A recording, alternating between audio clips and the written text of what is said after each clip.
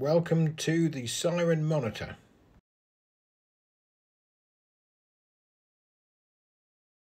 is the siren monitor outside of its casing. Uh, what you'll see there is, uh, um, this is the case that you see on the photograph. And the reason why it's not in its casing is because I need to cut the slot in the top of the case called the ArduiTouch. Um, once I cut the slot, uh, we'll be able to mount it in there uh, properly.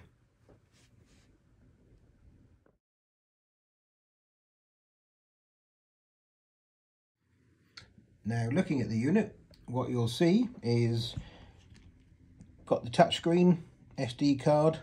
If I flip the unit over, you've got the ESP32, which does most of the uh, coding uh, for the screen, SD card, Wi-Fi, web server, etc.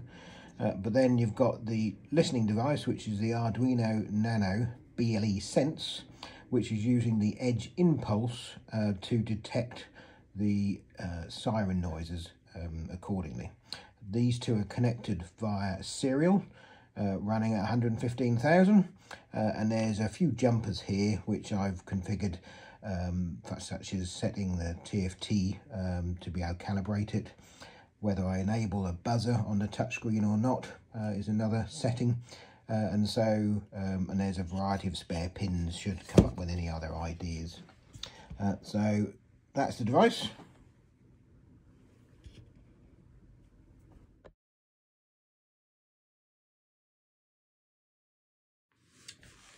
I'm going to power the device on now um, and what you'll see is a boot up screen, uh, a Wi-Fi connection screen and then the main screen of the device.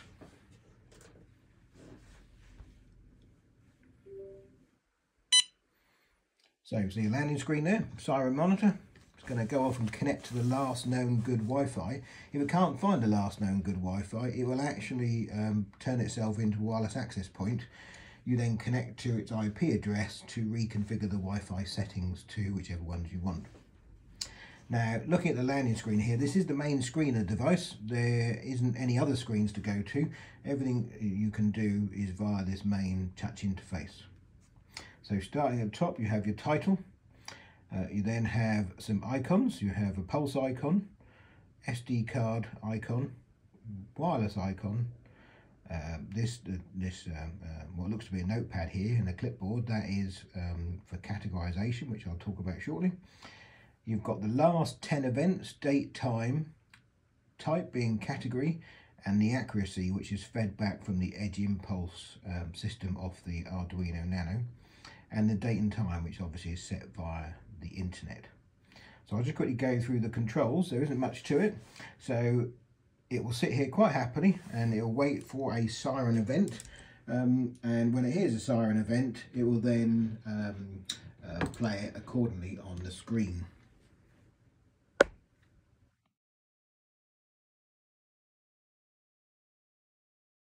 So just as a demonstration here, you see the last event was 1754.39. Uh, I just so happen to have a police car passing by right as we speak.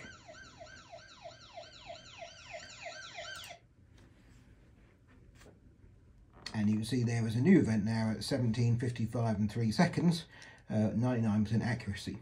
Uh, so it's automatically populated display, it's automatically written itself to the SD card, uh, so the data isn't lost, um, and it will just carry on. Now, because uh, of sirens take a little while to pass, once it detects a siren, it will actually wait 10 seconds before it makes another detection, and that way we limit the false positives from being displayed.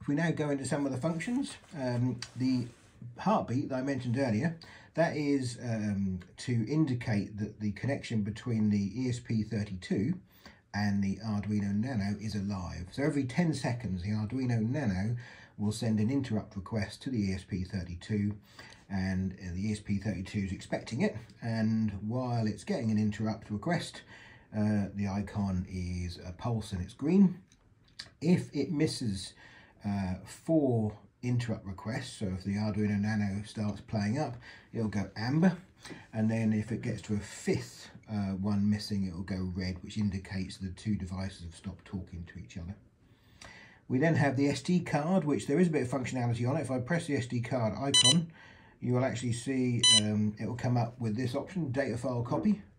And it'll say, are you sure? And you simply say yes or no. And all that does is it takes a copy of the CSV file uh, and puts it to one side. So if, for example, you're just about to start editing the categories, which I'll go into in a moment, uh, you've got a copy of the file uh, of the, the, last time before you did the categories.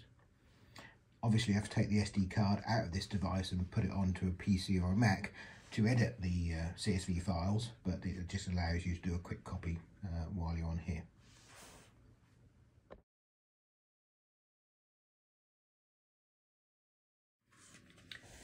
The next function I'd like to talk about is the categorization, which is important because um, as in my particular case, sirens are coming past, we don't know whether they're police, fire or ambulance. Uh, and I do have CCTV that looks up the driveway. So what I've built is a simple system that if we press the category button here, it says update categories and you get a choice of yes or no and I say yes. And then it will show you the first event where it's uncategorized, which is indicated by the U. It gives you a date and time, and that allows me to go and check the CCTV and then choose what the event was. So if I say, for example, this was a police car, it's then set that, and you can see there, uh, the, before the last U is now a P. If I do that again, it will go to the next U, once I say yes, of course. Uh, and let's say if I choose an ambulance for this one, you can see now we've got an A above a P I do it once again, I'll then choose a fire. And then finally, uh, because you do get false positives, um, you know, uh, for example, when we set the burglar alarm on the house, that triggers an event because it's very similar to a siren. I've got a halt symbol here, which is just other. So that titles it as O. Now, um, when all categories are updated, if I quickly clear the last two, uh, you'll see what it does it will actually tell you. So there's no there's no categories left to, to apply. So if I now update categories again and I hit yes, it will just say all categories are set and go back to the main screen. And finally, this picture shows the web server up and running with a list of the last 10 events, which is the same as the TFT display. This website refreshes every 60 seconds and just eh, enables you to have a look at what's going on without going to the siren monitor itself.